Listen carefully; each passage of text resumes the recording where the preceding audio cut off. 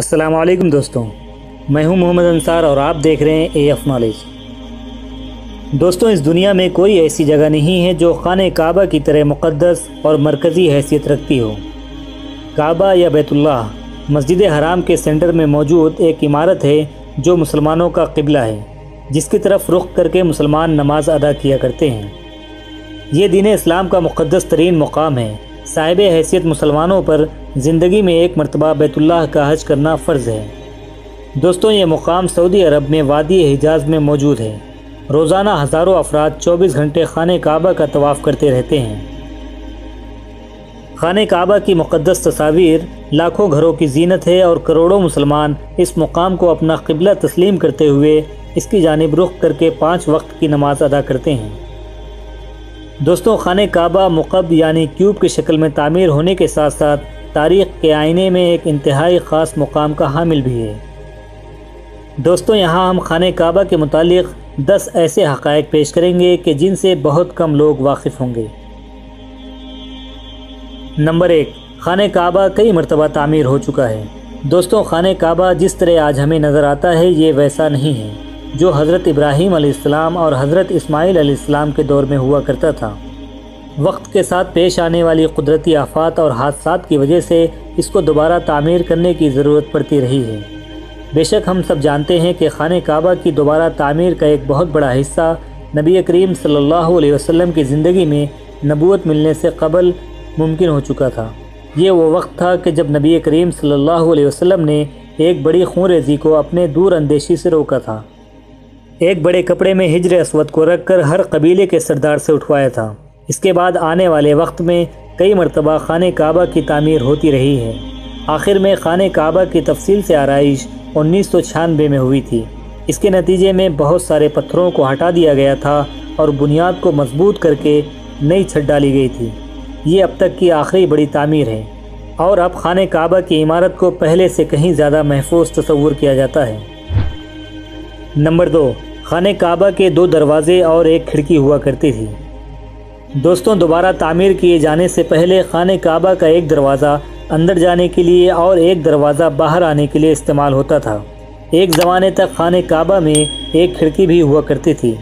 खान काबा की जो शक्ल आज के वक्त में मौजूद है, इसमें सिर्फ़ दरवाज़ा मौजूद है, लेकिन खिड़की को अब हटा दिया गया है। नंबर तीन, खान काबा के गिलाफ के मुख्तलिफ़ रंग।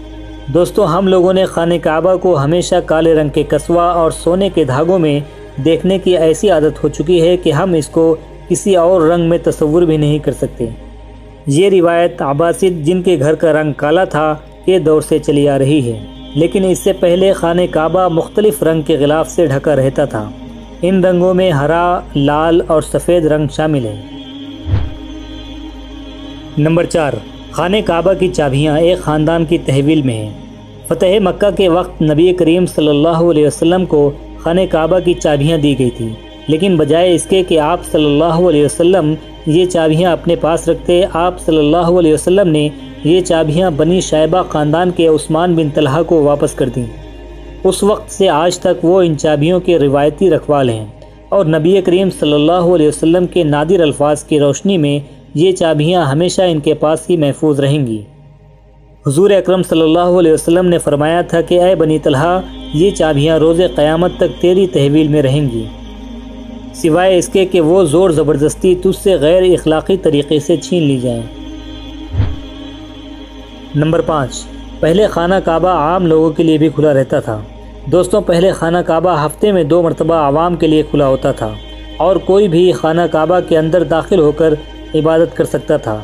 लेकिन मौजूदा ज़माने में लोगों की तादाद ज़्यादा होने की वजह से और दूसरी वजूहत के बिना पर खान काबा को अब साल में सिर्फ़ दो मरतबा ही खोला जाता है और इसमें सिर्फ़ आला शख्सियात और ख़ास मेहमान ही दाखिल हो सकते हैं।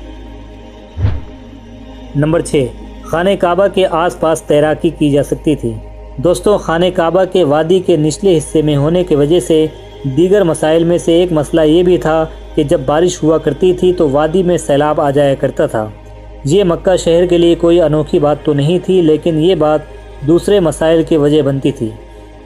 उस वक्त यहाँ सैलाब की रोकथाम और निकासी आब का निज़ाम मौजूद नहीं था। बारिश के आखिरी दिनों में खान काबा पानी में आधा डूबा रहता था, और यकीनन यहाँ पर आपके जहन में ये सवाल आ रहा होगा कि क्या इस वजह से तवाफ़ काबा रोक दिया गया था? हरगिज़ नहीं। मुसलमानों ने काबा के इर्द गिर्द तैरना शुरू कर दिया था। नंबर सात, खाने काबा की सजावट व आरइश करवाने वाले हुक्मरानों के नाम की तख्ती। दोस्तों, कई साल तक बहुत लोग अंदाज़ा लगाते रहे कि खाने काबा अंदर से कैसा नज़र आता है। वो लोग बहुत खुश नसीब हैं जिनको खाने काबा के अंदर दाखिल होने की सादत मिली और एक खुश नसीब वो हैं जिनको तस्वीर बनाने का मौका मिला और लाखों लोगों ने ये तस्वीर इंटरनेट पर ऑनलाइन देखी भी हैं। खाने काबा के अंदर का हिस्सा संग मरमर और हरे रंग के कपड़े से ढका हुआ है।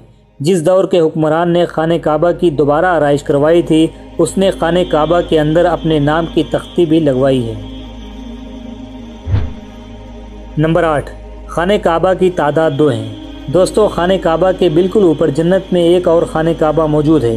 इस बात का ज़िक्र कुरान पाक में भी आता है और नबी पाक सल्लल्लाहु अलैहि वसल्लम ने भी इस बात की निशानदेही की है। और अल्लाह के नबी सल्लल्लाहु अलैहि वसल्लम ने मेराज का वाक़ सुनाते हुए फ़रमाया कि जब मुझे बैतुलमामूर दिखाया गया तो मैंने हज़रत जब्राईसम से पूछा तो इन्होंने जवाब दिया कि ये बैतुलमामूर है, जहाँ सत्तर हज़ार फरिश्ते रोज़ाना अल्लाह की इबादत करते हैं और जब वो यहाँ से जाते हैं तो वो वापस नहीं आते मतलब हमेशा नया दस्ता आता है।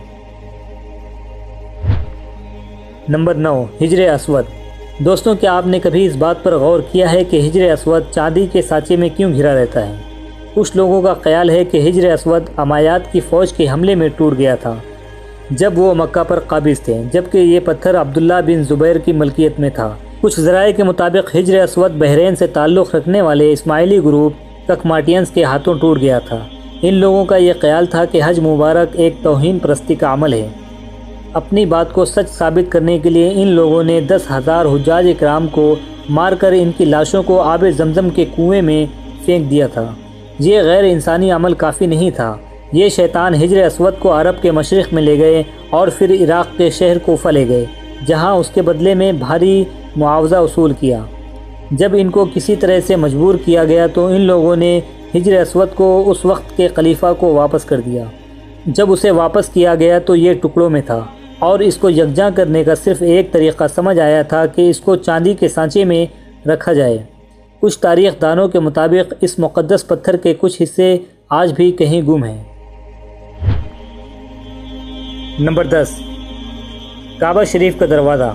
दोस्तों, काबा शरीफ में दाखिल होने के लिए सिर्फ़ एक दरवाज़ा है, जिसे बाब काबा कहा जाता है। बाब काबा ज़मीन या हरम के फर्श से 2.13 मीटर ऊपर है। ये दरवाज़ा काबा शरीफ के शुमाल मशरक़ी दीवार पर मौजूद है और इसके करीब तरीन दहाने पर हिजर असवद नस्ब है, जहाँ से तवाफ़ की इब्तदा की जाती है।